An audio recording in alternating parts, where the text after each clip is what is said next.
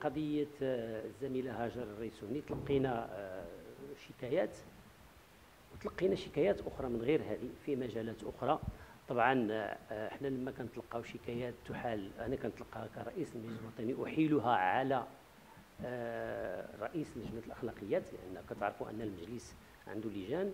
وطبعا لجنة الأخلاقيات غتدرس هذه الملفات هذه وغادي تصدر فيها القرارات لأن نحن لا نصدر مواقف. يمكن نصدروا مواقف ولكن المطلوب منا ماشي هو المواقف المطلوب منا هي القرارات طبقا للقانون. وطبعا لما توفر الشروط القانونية أكيد على أن آه، اللجنة فيها كفاءات ويترأسها آه، رجل كفء على أنها لابد أنها غادي تصدر القرارات الملائمة في هذه القضية وفي قضايا أخرى اللي مطروحة عليها.